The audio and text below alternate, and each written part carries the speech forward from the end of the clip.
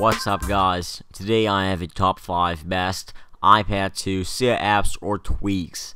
These apps are featured on this video on my personal picks and may be different from yours. Without any further ado, let's start. Coming in at number 5 is Multi-Icon Mover. This tweak basically allows you to move multiple icons all at once, like name suggests. Let me demonstrate you how it works. You just hold on an application and wait until it wiggles. Now just tap on the icon to move, like so, then you move to the desired page and you simply click on your home button. So let me just demonstrate it once again. Hold on an app, tap the apps I want to move, and then go to a different page, and finally click on the home button. This is a really sweet tweak that can be found on Cydia for free. Coming in at number 4 is Multiflow. Multiflow is an elegant app switcher that is a lot better than the default Apple app switcher. It gives you the possibility to show all apps on the same screen for easy and quick multitasking. Let me just demonstrate you how it works. You can set different gestures to activate multi-flow via Activator. Like shown right here, I have an expose style app switching. You can add a background to it. You can reopen an application that you have running in the background, and you can even close an application you don't want to have running in the background anymore. You can configure different options via the settings application. For example, I can change from the expose style switching to the WebOS card switching, which also looks really cool.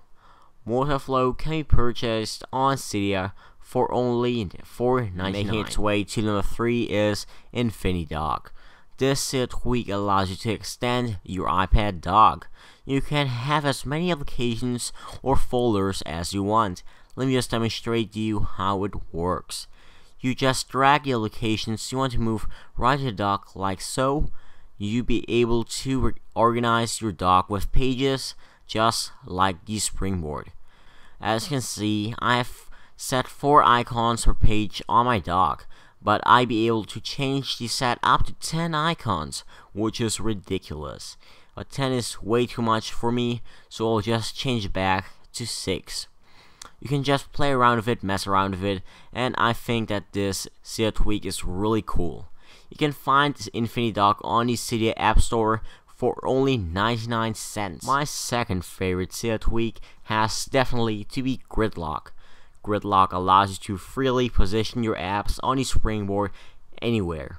Without Gridlock, you'd be in a grid, where it doesn't allow you to position the icons anywhere I would like.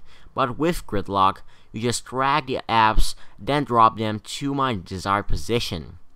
It is a really simple Cydia tweak. Let me just demonstrate you the gridlock a couple times.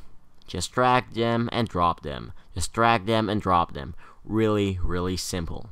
You can for form different shapes, you can form ladders if you want, and um, Gridlock comes in a very cheap price at only 99 cents on the Cydia App Store. Coming in at the first place is a new tweak called Gesturizer. Gesturizer allows you to use gestures to open certain applications with a gesture. Let me show you how it works. You just open your app switcher, then you would have this transparent area right here. Let me just draw Y for YouTube, and as you can see, it recognized it really well.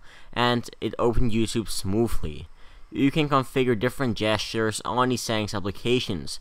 You just tap on the add gesture, name gesture, and configure it what to do. In my case, I'm gonna um, configure it to open settings.